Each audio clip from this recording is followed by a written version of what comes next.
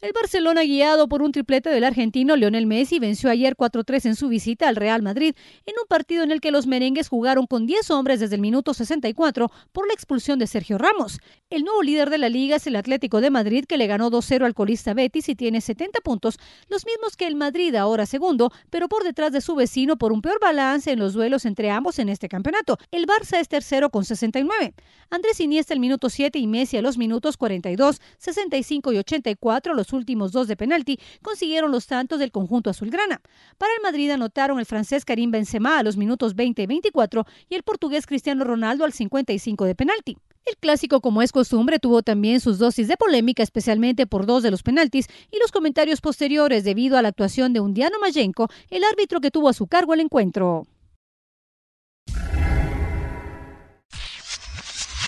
Publinews, lo más importante de las noticias, un diario internacional de Metro y del grupo Emisoras Unidas, 50 años.